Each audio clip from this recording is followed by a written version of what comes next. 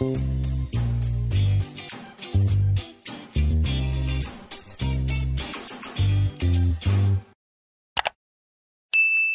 நான் உங்கள் Shabdina. Welcome back to Shabdina's kitchen இன்றைக்கி நம்ம எங்கே இருக்கோம்னா மாங்காடு. அதாவது சென்னை பக்கத்தில் இருக்க மாங்காடு கோவில் கிட்ட தான் இருக்கோம்.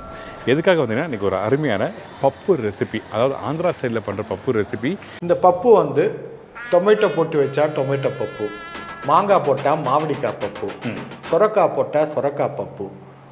பீரக்காய் அப்படின்னா பீர்க்கங்காய் பீரக்காய பப்பு. கீரை போட்டு பண்ணால் தோட்டக்கூரா பப்பு. தோட்டக்கரை பப்பு. பாலக்கு போட்டு பண்ணால் பாலக்கூரா பப்பு. பாலக்கரை பப்பு. இது மாதிரி எதை வேணால் போட்டு செய்யலாம். இன்னைக்கு வந்து நம்ம பண்ண போகிறது வந்து சொரக்காய பப்பு. பப்பு. நம்ம இந்த பப்புனா என்ன? தமிழ்ல பருப்பு தெலுங்குல பப்பு. பப்புக்கு எதுக்கு பப்புன்னு பேர் செஃப் இதில் வந்து அந்த சுரக்காய் அந்த சுரக்காய் காய்கறி போடுறாங்க. அதில் பச்சை மிளகாய் இஞ்சி வெங்காயம் தக்காளி அதுக்கப்புறம் மசாலாலாம் போட்டு சூப்பரான ஸ்டைலில் ரொம்ப சிம்பிள் சட்டுன்னு பண்ணலாம்னு சொல்லி சொல்கிறாரு இவரை தூக்கி இதில் கொட்டுவோம். அதுக்கு மேலே கொஞ்சம் கொத்தமல்லியை தூவிட்டு. தாராளமா. அந்த கொத்தமல்லி போட்டு சமைக்கும் போது அந்த வாசனைகள் நல்லா இருக்கும் இந்த மாதிரி- இந்த மாதிரி பர்டிகுலரா அந்த தாளிப்போட மேல கொத்தமல்லி போட்டு மிக்ஸ் பண்ணி சுடு சாப்பிட்டா வேற.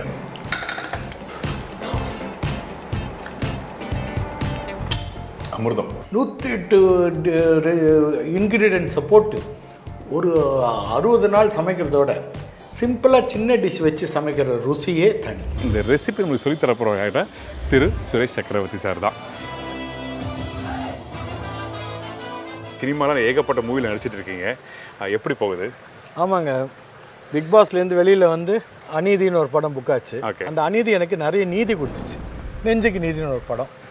பிக் பாஸாலையும் அந்த படத்தாலையும் நிறைய படங்கள் தமிழ் தெலுங்கு மலையாளம் கன்னடம் எல்லாம். சூப்பர். இன்னும் என்னென்ன மொழியெல்லாம் இருக்குதோ அதெல்லாம் நடிக்கணும்னு ஆசை. என்ன இருக்குது இப்போ? மொழியில் என்ன இருக்குது சொல்லுங்கள் ஃபஸ்ட்டு வாங்க சுரேஷ் சாரை போய் மீட் பண்ணிட்டு அதுக்கப்புறம் இந்த ரெசிபி பற்றி நம்ம எப்படி பண்ணலாம்னு சொல்லி கேட்டு தெரிஞ்சுக்கலாம். சார் வணக்கம். வணக்கம். எப்படி இருக்கீங்க? சூப்பராக இருக்கிறேன். நீங்கள் எப்படி இருக்கீங்க? நான் ரொம்ப நல்லா இருக்கேன். அந்த பப்பு எதை வச்சு பண்ண போகிறோம் அந்த பர்டிகுலர் எதுக்காக பப்புன்னு சொல்கிறாங்க ஆந்திராவில் வந்து பருப்புக்கு பேர் பப்பு. கண்டி பப்புனா துவரம் பருப்பு. மினப்ப பப்புனா உளுந்த பப்பு உளுந்த பருப்பு பெசரு பப்புனா பாசிப்பருப்பு. அந்த மாதிரி ஒவ்வொன்றுத்துக்கும் ஒரு பேர். ஓகே இன்னைக்கு நம்ம வந்து இந்த பப்புக்கு என்ன பருப்பு யூஸ் பண்ண போகிறோம் என்ன மாதிரி பப்பு? கண்டி பப்பு கண்டி பப்பு அப்படின்னா என்ன? இப்போ தானே சொன்னேன். தோரம் பருப்பு. கரெக்டு அப்பா என்னையா இது ஸோ துவரம் பருப்பும் சொரக்காயும் போட்டு செய்ய போகிறோம் சரி ஓகே. நான் இன்னைக்கு இந்த பப்பு செய்கிறதுக்கு முன்னாடி நீங்கள் சமையலில் பயங்கர ஆர்வம் உள்ள ஆளு நல்லாவே தெரியும் எனக்கு. ஏன்னா நம்ம லாஸ்ட் டைம் கலர்ஸ் கிச்சனில் பண்ணும்போது வந்து அந்த சமையலை பற்றி ஏகப்பட்ட விஷயம் சொன்னீங்க. உங்களுக்கு பர்டிகுலராக எந்த குசைன் ரொம்ப பிடிக்கும் தமிழ்நாட்டில்? எனக்கு எல்லா ஊர்லேயும் ஒரு ஒரு ஐட்டம் பிடிக்கும் இல்லை பத்து பத்து ஐட்டம் பிடிக்கும். சென்னையில் வடகரி நீங்கள் இருக்கிற ஏரியா சைதாப்பேட்டை. மாறி ஓட்டல் காரைக்குடியில் வந்து எனக்கு வெண்டைக்காய் மண்டி ரொம்ப பிடிக்கும் சைவத்தில். அசைவத்தில் பெரும்பாலும் எல்லாம் பிடிக்கும். அந்த மாதிரி கும்பகோணத்தில் வந்து சூப்பராக இருக்கும் அவங்களோட கடப்பா. கடப்பா. என்னடா கடப்பான்றது ஆந்திர பிரதேசத்தில் ராயலசீமாவில் ஒரு ஊர். அதை தூக்கி கும்பகோணத்தில் வச்சுட்டாங்களேன்னு நினச்சிட்டு இருக்கேன் இந்த கடப்பா அந்த டிஃபனுக்கு சாப்பிட்றது. சூப்பராக இருக்கும். சரி வாங்க போலாம் இந்த தண்ணிக்காய் பர்டிகுலராக வந்து பெரும்பாலும் ஆந்திரா சைடு நிறைய பேர் யூஸ் பண்ணுறாங்க அதுக்கு என்ன என்ன காரணம்? சரி பெரும்பாலும் தண்ணிக்காய் வந்து நம்ம எல்லாருமே யூஸ் பண்ணலாம். ரைட் நம்மளும் யூஸ் பண்ணுறோம் ரொம்ப நல்லது அது. இதை வந்து இது இந்த வெள்ளை பூசணிக்காய் இதெல்லாம் வந்து பச்சையை அரைச்சு காலையில் வெறும் வயிற்றில் சாப்பிட்டீங்கன்னா அல்சருக்கெல்லாம் நல்ல மருந்துன்னு சொல்கிறாங்க ஓகே அது மட்டும் இல்லாமல் இந்த டயபிட்டிஸ் இருக்கிறவங்களுக்கு அவங்களுக்கெல்லாம் வந்து இந்த மாதிரி காய்கறி வந்து ரொம்ப ரொம்ப நல்லது. கேலரிஸ் கம்மி. அது ஃபில்லிங்கும் இருக்கும். நிறைய சாப்பிடலாம். ஓகே. பெரும்பாலும். அதெல்லாம் சூடு தெளிக்கிறதுக்கும் வந்து நம்ம காய்கறி சாப்பிடுறது வாட்டர் ஏன்னா நிறைய வேர் திகிட்டு போகிறப்போ வாட்டர் கண்டென்ட் பாடியில் தேவை இருக்கின்றது பண்ணுது. அது மட்டும் இல்லாமல் அவங்க இந்த சொரக்காயை வந்து மேலே இருக்கிற தோல் உள்ளே இருக்கிற விதையை கூட தூக்கி போட மாட்டாங்க. வேற எதனா சமையல் யூஸ் பண்ணிப்பாங்க? பச்சடி. சொன்னேன் இல்லையா? பச்சடி நம்ம சொல்கிறது தயிர் ஊற்ற பச்சடி. அங்கே தெலுங்குல பச்சடினா துவையல் இல்லை சட்னின்னு வச்சுக்கலாம். நான் இன்னொரு நாளைக்கு உங்களுக்கு அந்த தோலெல்லாம் பயன்படுத்தி நான் சொல்லிட்டேன் கண்டிப்பா கண்டிப்பா. ஸோ இன்னைக்கு ஃபர்ஸ்ட் நம்ம என்ன பண்ண போறோம்? முதல்ல இதுக்கு துவரம் பருப்பு. ஆ சரி. ஓகே. ஒரு இரநூத்தி ஐம்பது கிராம்லேருந்து ஒரு அரை கிலோ வரைக்கும் அந்த காய் இருந்துச்சுன்னா அரை அழகு பருப்பு போதும். அரை அளவுக்கு பருப்பு. துவரம் பருப்பு. நல்லா கழுவி வச்சிருக்கிறேன். ஊற வைக்க வச்சாலும் ஓகே இது ஊறிட்டு இருக்குது சரிங்களா? அதுக்கப்புறம் வெங்காயம். ஒரு வெங்காயம். வெட்டி. ஓகே ஒரு ரெண்டு பச்சை மிளகாய். காரத்துக்கு. தக்காளி. பூண்டு. கருவேப்பிலை. கொத்தமல்லி. ஓகே நெய்லையும் தாளிக்கலாம். எண்ணெயிலையும் தாளிக்கலாம். நம்ம இன்னைக்கு எண்ணெயில் தாளித்து நெய்யில் பிணைஞ்சு சாப்பிடுங்க. சரி. சரிங்களா? கடுகு உளுத்தம்பருப்பு மஞ்சத்தூள் மிளகாத்தூள் சீரகம். தனியாத்தூள். அவ்வளோதான் அவ்வளோதான் எண்ணெய் போட்டு வதக்கிறதுலாம் கிடையாது. சரி ஓகே ஸோ முதல்ல தோரம் பருப்பு. ஓகே இது ஊற வச்சனால ஒன்றோட ஒன்று ஒட்டிட்டு இருக்குது சரி ஓகே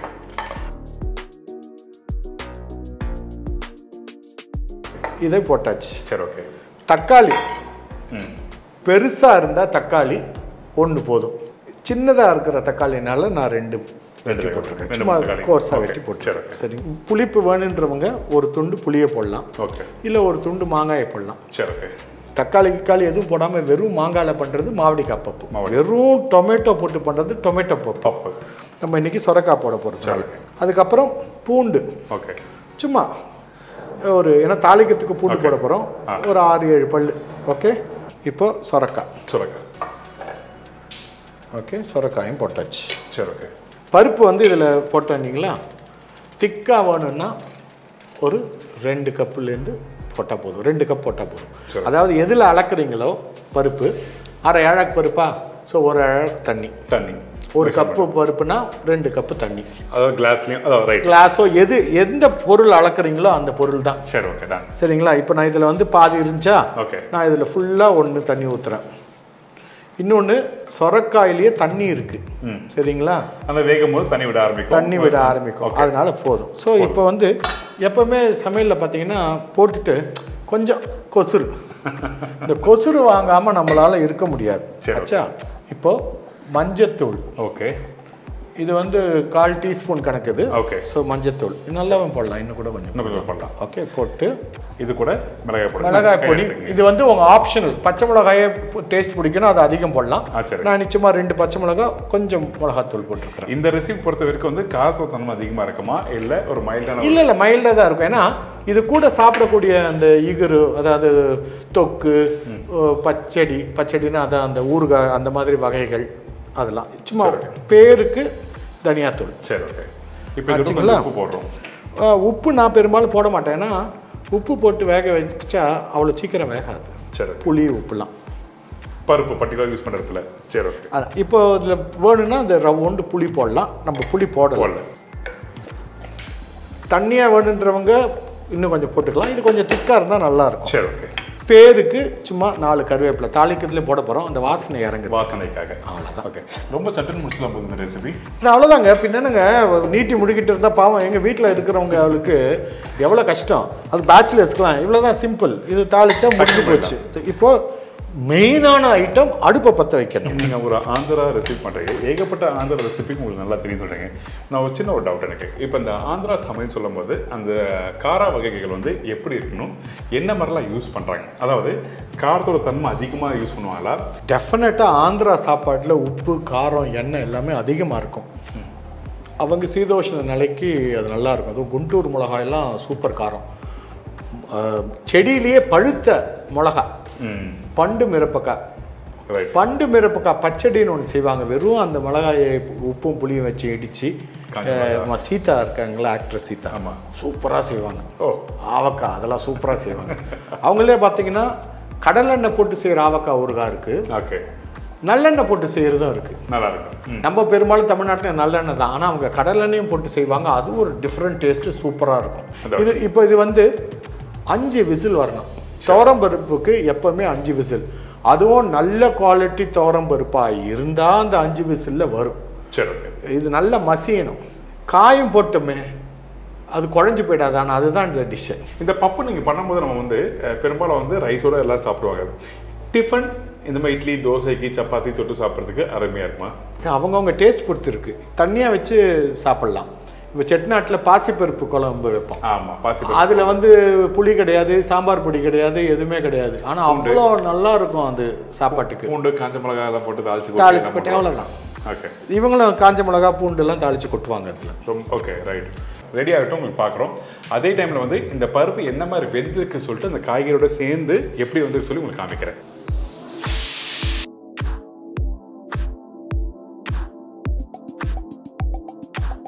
அஞ்சு விசில் வந்து ஆவியும் அடங்கிருச்சு. சரி ஓகே சில துவரம்பருப்பு நல்லா இருந்தால் மூணு விசில் வைங்க பட் பெட்டர் அஞ்சு விசில் வைக்கணும். சரி ஓகே காய் குழஞ்சி போயிருமே நினைப்பீங்க? இல்லை. பார்ப்போமா? அப்பா காயே என் மானத்தை காப்பாற்று குழஞ்சி கிழிஞ்சு போயிடாத சொல்லிவிட்டேன். எப்படி குழைக்க தான் போகிறோம் ஆ சரி. இருந்தாலும். அப்படியே பார்த்தீங்களா முழுசா இருக்கு. அதுதான் ட்ரிக்கு சரிங்களா? அதுக்கு தான் கரெக்டாக அஞ்சு விசில் சொல்லி நீங்கள் எடுத்துருக்கீங்க ரைட்டா ஆமாம் இப்போ ம். நாங்க- மசிப்பானில் போட்டு மசிக்கலாம். வெறும கரண்டியாலையும் மசிக்கலாம். சரி. இப்போ இதுக்கு உப்பு போடணும் இல்லையா? இது பிங்க் சால்ட் வந்து எப்பவுமே கம்மியாக பயன்படுத்தணும். சரி நார்மல் சால்ட் இருக்குது பார்த்தீங்களா? குக்கிங் சால்ட் அதோட இது கம்மியாக தான் பயன்படுத்தணும். ஏன்னா வீரியம் அதிகம். பெரும்பாலும் வந்து உப்பு கம்மியாக சாப்பிட்றது நல்லது. அது எங்கள் வீட்டில் வந்து அரை உப்பு கால் உப்பு தான். அது ஷார்ப்பாக சில பேர் சாப்பிடுவாங்க. ஆனால் பழகிட்டோம்னா அது ரொம்ப பெரிய கஷ்டமாக இருக்காது. அது வயசு ஆக ஆக அந்த டைமில் பிரச்சனைகள் கொடுக்கும். ரைட் அப்போ நீங்கள் பார்த்துக்கணும். எனக்கு பிரச்சனை இல்லை. எனக்கு வயசு இன்னும் ஆகலை. சரி ஓகே இப்போ இந்த பருப்பு பண்ணிட்டு ஒரு ரெண்டு மூணு காயை நசுக்கி விட்டுறலாம். ஆ சரி ஓகே சும்மா. ஓகே இதை வந்து மசிப்பான்லேயும் போட்டு மசிக்கலாம். மசிப்பானில் போட்டு மசிக்கிட்டா அவங்க யூஸ்வலாக மசிப்பானில் போட்டு மசிப்பாங்க. ஓகே பட் உங்களுக்கு இது வந்து இப்படி கூட்டு மாதிரி இருக்கும் இப்படி பண்ணால் மிக்ஸ் பண்ணும்போது. ஆமாம் இல்லைனாலும் வந்து பாருங்க அந்த பருப்பு வந்து தெரியக்கூடாது. ஓகே தக்காளி இதில் போட்ட வெங்காயம் பூண்டு. பச்சை மிளகா எல்லாம் அதில் சேர்ந்துடணும். சரி ஓகே. சேர்ந்துட்டா அதுக்கப்புறம் தாளிச்சு போட்டுடலாம். இதுக்கு சமையலே தெரியாதனோட இந்த மாதிரி ரெசிபியை நீங்கள் பார்த்து வீட்டில் ஈஸியாக சட்டன் பண்ணிடலாம் ரொம்ப கஷ்டப்பட்டு பண்ண முடியலாம் இல்லை. இப்போ பார்த்தீங்கன்னா இது பண்ணுறாங்கல்ல இது வந்து எந்த இதுக்கும் வராது. இப்படி இப்படி தூக்கிட்டு நிற்கும் அதுக்கு என்ன பண்ணணும் இது பருப்பு கஞ்சமே விசில் தூக்கி அந்த விசிலை தூக்கி அதுக்கு அடியில் வச்சிங்கன்னா இந்த தாளிப்பானுக்கு பயனாகும். கரெக்டாக இருக்கும். இதை நெய்லையும் தாளிக்கலாம் நல்லெண்ணெயும் தாளிக்கலாம். நம்ம நல்லெண்ணெயில் தாளிப்போம். சரி ஓகே. நெல்லெண்ணெய் தாளிக்கணும்னு சொல்லும்போது வந்து எதுக்காக நம்ம பர்டிகுலராக நல்லெண்ணெய் யூஸ் பண்ணுறோம் என்ன காரணம்? அப்படி இல்லை. நம்ம சமையல் தான் சொன்னேனே நல்லெண்ணெய் அவங்க கடலெண்ணெயில் தாளிப்பாங்க. ஆ சரி. நெய்யில் தான் தாளிப்பாங்க பெரும்பாலும். ஓகே. நம்ம நெய் அவங்கவுங்களுக்கு சிலருக்கு பிடிக்காத நெய். அவங்கவுங்களுக்கு வேண்டிய அளவுக்கு அவங்க பண்ணிக்கலாம் இல்லையா? ஓகே. சும்மா ஒரு ரெண்டு டேபிள் ஸ்பூன் போட்டிருக்கிறேன். சரி ஓகே. இது நல்லா சூடாகணும். ஓகே. இன்றைக்கி நம்ம வந்து வெறும் கொஞ்சமாக உளுத்தம் பருப்பு கடுகு சீரகம் காஞ்ச மிளகா பூண்டு கருவேப்பிலை. சரிங்களா? சும்மா ஒரு ஒரு ஸ்பூன். ஓகே. இவ்வளோ கம்மியாக தானே இருக்குது ஓகே. கடுகு போட்டாச்சு. கடுகு பொரிச்சிட்டே இருக்கும்போது தீயை சின்னதாக்கிட்டு சும்மா ரெண்டே ரெண்டு. உளுத்தம் பருப்பு போதும். ஆமாம் Okay. சீரகம் ஒரு அரை ஸ்பூனு. ஓகே. போட்டுட்டு ஒரு நாலு காஞ்ச மிளகாவா ஆமாம் பெருங்காயம் வேணுன்றவங்க பெருங்காயம் போடலாம். ஓகே. ஏன்னா பூண்டு போடுறோம். இடிச்சு வச்சிருக்க பூண்டு பூண்டை வந்து தோலோடு அப்படியே இடித்து வைக்கணும். ஆ சரி ஓகே. எதுக்கு தோலோடு இடிக்கிறோம்? அந்த வாசனை நல்லா இருக்கும் அந்த ஸ்கின்னோட யூஸ் பண்ணும்போது இன்னொன்று வந்து தாளிப்புக்கு அவ்வளோ நேரம் அது குக் ஆகாது. அது என்கேஸ்டாக இருந்தால் அந்த சூட்டிலேயே வெந்துடும் சரி ஓகே. எப்படி? இது வேற கற்று இன்னைக்கு ஒரு கொடுத்துருக்காங்களா விஷயம் கற்று இப்போ கற்றுக்கிட்டேன் ஆ இந்த கருவேப்பிலை. லேர்னிங் இந்த கருவேப்பிலை. அதாவது பேசிக்காக நம்ம என்ன பண்ணுறோன்னா இந்த கடுகு சீரகம் காஞ்ச மிளகாய் கருவேப்பிலை பூண்டு தாளிச்சு கொட்டுறோம். ஓகே இப்போ அடுப்பை நிப்பாட்டிடுவோம். நிப்பாட்டிட்டு இவரை தூக்கி இங்கன வச்சு இவரை தூக்கி இதில் கொட்டுவோம். ஓகே. இரும்பு கரண்டியா இருந்தா இதுக்குள்ள விட்டு ஆட்டுவாங்க. அது எதுக்கு? அந்த இரும்பு சத்து கிடைக்கும். நமக்கு சேரணும்ட்டு ஆயிடுச்சா? அவ்வளவுதான். இப்போ இருங்க. அதுக்கு மேலே கொஞ்சம் கொத்தமல்லியை தூவிட்டு. தாராளமா. ஓகே. நல்ல தாராளமா கொத்தமல்லி கீரை வந்து அவ்வளோ நல்லது உடம்புக்கு. கொத்தமல்லி கருவேப்பிலாம் சமைக்கிறது ஐயோ நிறைய பேருக்கு பிடிக்காது. எனக்கு பிடிக்கும். என் ஒய்ஃபோட அக்கா வீட்டுக்கார் இருக்காரு. அவர் கொத்தமல்லியை பார்த்தாலே பிரச்சனை. அப்படியா? ஆமாம் வடிகட்டி தான் கொடுப்பாங்க ரசம்லாம். ஆனால் அது அப்படி. இப்போ அந்த கொத்தமல்லி போட்டு சமைக்கும் போது அந்த வாசனைகள் நல்லா இருக்கும். இந்த- மாதிரி பர்டிகுலரா அந்த தாளிப்போட மேல கொத்தமல்லி போட்டு மிக்ஸ் பண்ணி சுடு சாப்பிட்டா வேற. இதை பாருங்க இந்த கலரை பார்த்தீங்களா? சூப்பரான இப்போ ஆச்சா? இப்போ இதை டேஸ்ட் பண்ணி பார்த்துருவோம். இந்தாங்க நீங்கள் வந்து ஷெஃப்பு அதனால் உங்களுக்கு பெரிய ஸ்பூனு நான் ஒரு சாதாரண குக்கு அதனால் சின்ன ஸ்பூன் ஓகே சும்மா பேச்சு தான் வெளியே வருது. ஆனா ரேலியே வந்து சூப்பர் கை உங்களுக்கு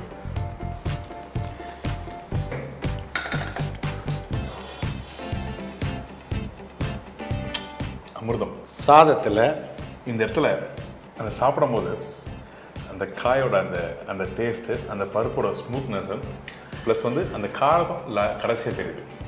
சூப்பர் நூற்றி எட்டு இன்க்ரீடியன்ஸை போட்டு ஒரு அறுபது நாள் சமைக்கிறதோட சிம்பிளாக சின்ன டிஷ் வச்சு சமைக்கிற ருசியே தனி.